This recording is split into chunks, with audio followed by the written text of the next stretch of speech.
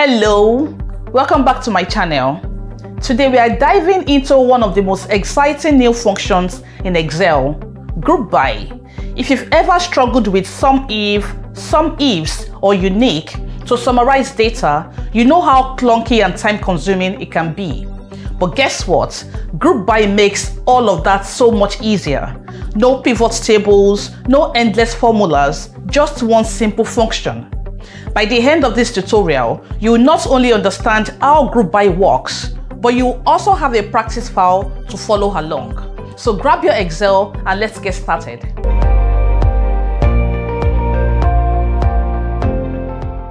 Before Excel introduced Group By, summarizing sales by country or product felt like a never-ending chore. You had to use multiple functions, copy and paste data, and constantly update formulas whenever your data sets changed. Let's walk through what we used to do so you can see how much simpler Group By makes everything. Imagine you have a list of sales transactions with different countries and products. You want to know how much each country has sold in total. That means we need two result columns for country and sales. So I'm going to copy these two column headers and paste it here. First, you need to pull a list of unique countries from the dataset. So in cell H6, I'm going to use the unique function to extract a unique list of countries. So equals unique function of country column. Close the brackets and press enter. Excel will now generate a list of only the unique country names, but that's just the start. Now that we have our list of unique countries, we need to calculate the total sales for each one. And here's where it gets tricky. We are going to use a SUMIF function for that. So in cell high 6, right next to the first country in column H, I'm going to type in the SUMIF formula. So equal SUMIF, our range is the country column. So I'm going to grab that, comma. Our criteria is the first unique country. Go up to grab that, comma and that sum range is the sales column. Now close the bracket and press enter. Then drag the formula down to fill the column. At this point, we've successfully summed up sales for each country, but it took two steps. And what if we want to analyze sales by both country and product? Well, that's where things get even more complicated. We need a more complex formula. So I'm going to delete the existing sales column and the unique function I will copy the product and sales headers into column I and J to prepare for further analysis.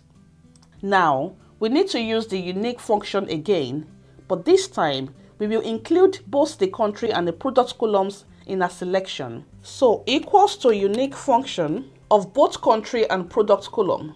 Close the bracket and press enter and Excel will return a list of all unique country to product combination. At this point, we need to use the SUMIFs function because we now have multiple criteria, country and product. And here's how to do that. So under the column for sales, I'm going to type in the SUMIFs function, SUMIFs this time, like I said, because we have two criteria. If it was just one criteria, we use the SUMIF. But this time we go with SUMIFs.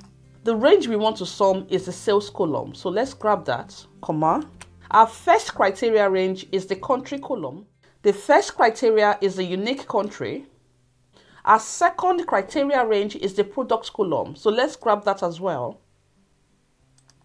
Up to 25, comma. And our second criteria is the product from the unique list. So grab that, close the bracket and press enter. Then drag the formula down to apply it to the rest of the rows. So this SUMIFs function checks multiple conditions and sums the data accordingly. So as you can see, analyzing sales data like this required multiple manual steps, extracting unique values, defining criteria ranges, and applying formulas. In the old way, summarizing data meant juggling several functions and updating formula every time new data was added. Thankfully, Group By eliminates all these manual steps with a single function. Alright, now that we know how it used to be, let's talk about how Group By makes everything simpler. Imagine doing all those steps we just covered with just one function. Sounds amazing, right? Well, that's exactly what Group By does. Group by is a new Excel function that lets you organize and summarize your data quickly. It's like using a pivot table but much easier. With Group by, you can group your data and get totals or averages without needing any complicated formulas. Let's see how it works. Here is the Group by syntax. Let's break it down step by step. The row fields. This is the column you want to group by. So think of it as the category you want to summarize, like the country in our own case. The value fields is the column you want to summarize, like the sales. The function is the operation to apply, such as sum, average, or count. And the headers, which is optional, determines whether headers are included in the result. So we use 3 for headers or 1 if you don't need them. So no more manual formulas, just one function does it all. Now, I have the same sales data here. Let's see how to analyze the sales by country using the group by function. I'm going to start typing in the group by function here. So equals group by, double click on that to select it. The first argument is row fields. The row field in our case is the country column. So let's grab that. Type in your comma. We have value fields. What are the value fields here? The sales column. So let's grab that as well, comma. The third argument is function. There are a couple of functions available based on your need.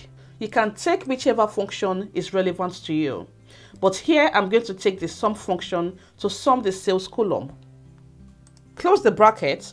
What happens when you press enter? Excel groups all unique country names and calculates the total sales for each country.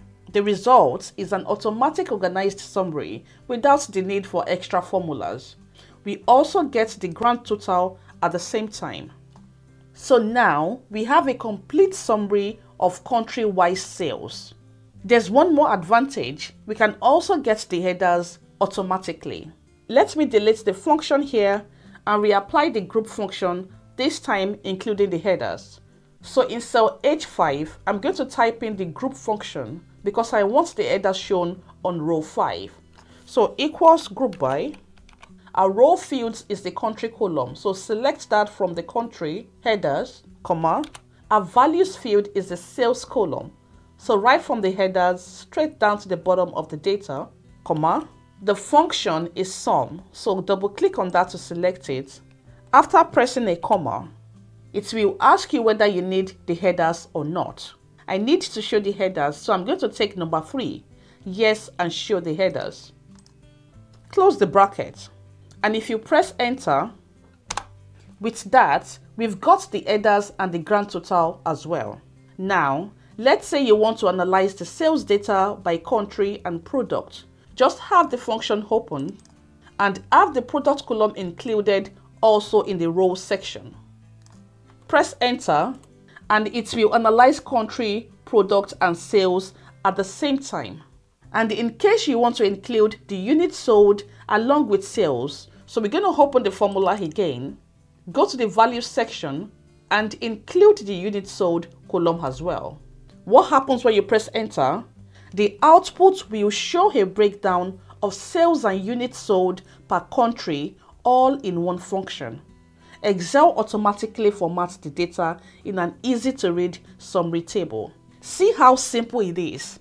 Awesome, right? So when do you use group by function? You use group by function anytime you want to summarize or add data without using multiple functions or creating a pivot table. It's a perfect choice for big data sets and more complex calculations. But take note of this point. Group by only works in Excel 365. 2. Pivot tables may be better for interactive data analysis. And lastly, if you need percentage calculations, pivot tables might still be necessary. Now it's your turn. Try using group by with different data sets and let me know in the comments how will you use group by. If this tutorial helped you, smash that like button and subscribe for more Excel tips. See you in the next video.